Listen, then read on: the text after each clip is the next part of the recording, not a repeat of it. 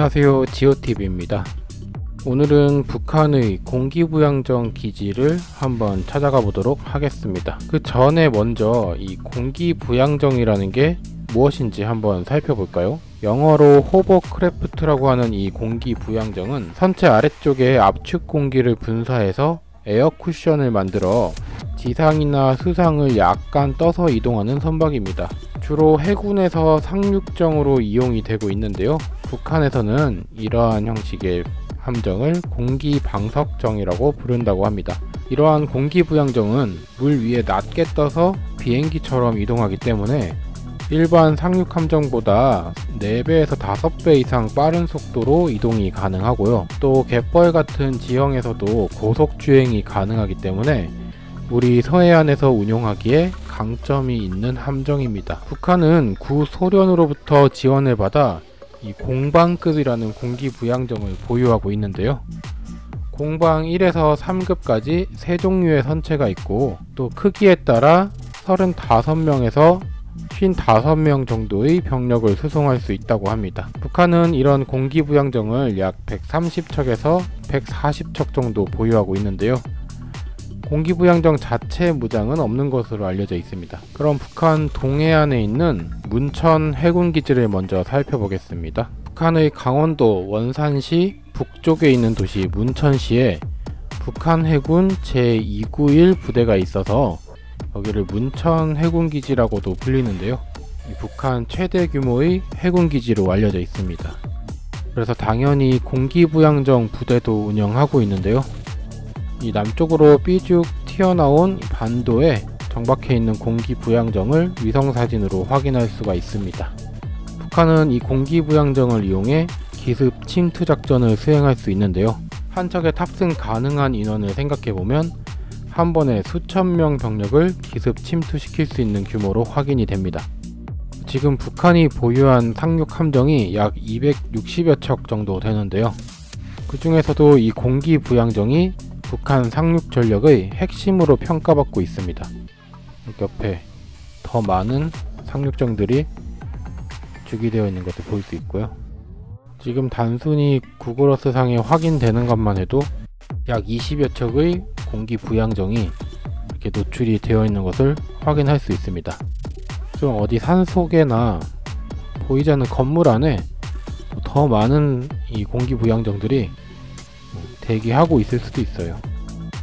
지금 이 위성 사진은 2022년 1월 2일에 촬영한 사진인데요. 이 문천 해군기지가 한창 공사 중인 모습이네요. 현재는 공사가 완전히 완료가 된 것으로 알려져 있습니다. 이번에는 황해도 서해안의 고안포 기지로 가보겠습니다. 원래 북한의 공기부양정 기지는 이 평안북도 철산반도와 같이 우리 서해 5도에서 300km 이상 떨어진 곳에 있었습니다. 지금 눈이 쌓여 있는 모습이지만 이곳이 철산반도의 공기부양정 기지로 파악이 된 곳인데요. 하지만 새롭게 건설된 고안포 기지는 우리 백령도에서 약 50에서 60km 떨어진 지점에 위치해 있는데요. 특수전부대 3천여 명의 병력을 약 3, 40분 이내에 백령도에 상륙시킬 수 있다고 합니다. 이 고안포 기지에서 출발한 공기 부양정이 우리 백령도 쪽으로 접근하는 것은 이 장상곶 뒤쪽 태산봉에 가려져서 더욱 위협적인데요.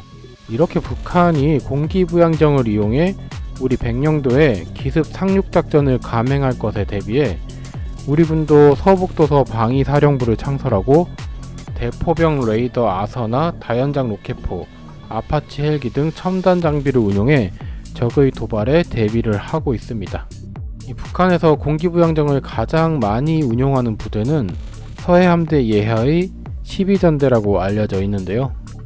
12전대에는 7개의 공기부양정 편대가 있고 기습 상륙작전을 수행하게 되면 유도탄정과 고속정이 이 편대를 호위하게 된다고 합니다.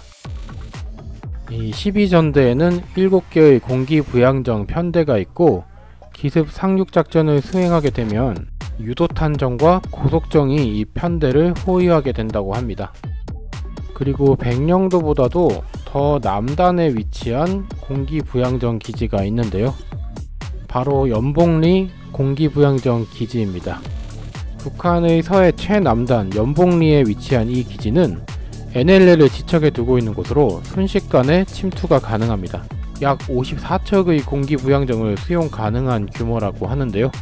고안포 기지보다도 백령도에 10km 정도 더 가깝고요. 연평도나 다른 서해 5도 지역에도 빠르게 침투가 가능한 위치이기 때문에 항시 눈을 부릅뜨고 감시를 해야 할 시설입니다. 네, 이렇게 북한의 공기부양정 기지를 오늘 살펴보았습니다.